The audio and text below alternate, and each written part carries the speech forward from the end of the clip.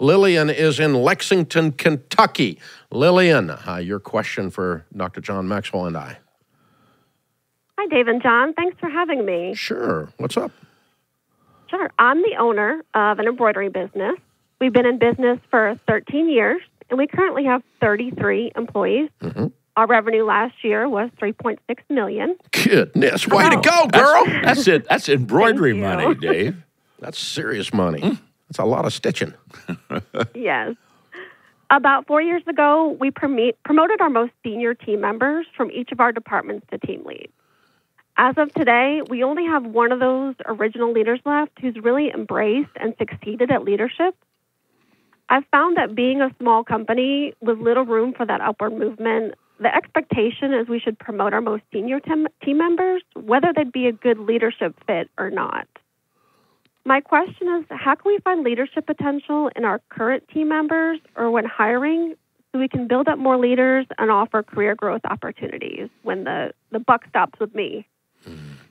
Well, Lillian, first of all, you, you don't promote people because they're senior leaders or that they've had tenure. Nope. You promote them because they're good. And everybody has to understand that you don't go to the next level, you got to grow to the next level. And um, what I would suggest, because you have a still a, a beautiful but, but small organization, is I would suggest that you develop what I call a leadership table.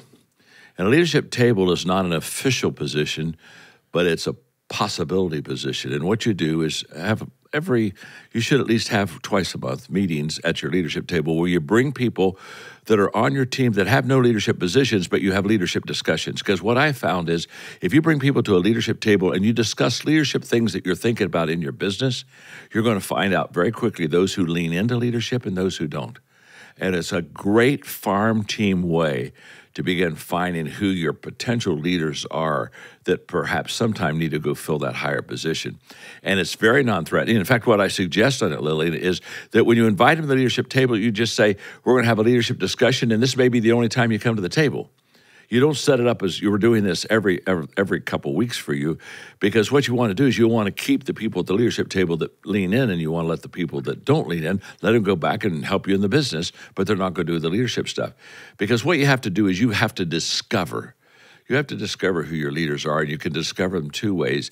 Have something like a form, like a leadership table, where you can begin to see if they have that natural leaning. And secondly, you've just got to let them go out and practice. You've got to let them. You've got to. Let, how do you develop leaders? You you practice leadership, and when you practice leadership, that is the indicator whether a person can lead or not. You know, let a person practice leadership for three months with a couple projects that you give them, and you're going to find out if they can produce or not but I have never been in favor of you've held you've held this position for a period of time, so you now can go into a, a senior leadership position. I, I think the the only promotion that I ever do is they've got to produce. If they can produce, they they get promoted, and if they can't produce, there may be uh, some roles in the company that they can have, but certainly not leadership roles. And if the expectation, you said you used that word among the people in the organization, is that if you've been there a while, you get promoted, um, that's your fault. You need to change the expectation. You need to announce pretty regularly that your raise is effective when you are. You need to announce pretty regularly that leaders, that people are promoted to leadership because they exhibit leadership skills, not because they breathe air and take up space. Um, you know, uh, seniority gets you nothing, honey, like the cereal, right? So all it gets you is loyalty, and we love you and we appreciate you, but it is not a guarantee that if you're taking up space that you get promoted. There's an old book from the 1970s, and I bet John remembers it called the Peter Principle. Oh yes, Where you stick around an organization long enough that you get promoted to your level of incompetence. and you have to avoid that principle. oh yeah, You remember that one? Oh, I remember the book. As soon as you said the Peter Principle, I knew exactly what it said. And what what was amazing? This book was written in the 1970s, and still people are doing the Peter Principle. Oh, I- it- it's, it's- kind of like we're, we're talking about 60 years ago, 50 years ago, and, and come on, let's learn. that- Let's learn that we just don't promote people just because they're on the team. Yeah, and and for no reason except that they can do Yeah. the job. That's the only reason. Hey, Lillian, we want to help you out. We want you to be in and uh, so get some support from some of our coaches and walk alongside you as you make some of these changes. And I'm going to give you that uh, that membership for a year. So you hang on the line, and the team is going to sign you up and get you going. Now through December 2nd, uh, you can get Elite $500 off your annual Elite membership. This is the best price we offer it's like Christmas time, people. So you need to get this is a good bargain. This is like known as a gift. Now through December second, get five hundred bucks off your annual elite membership. Best price we'll ever offer, and we can walk alongside you and help you do all of those things.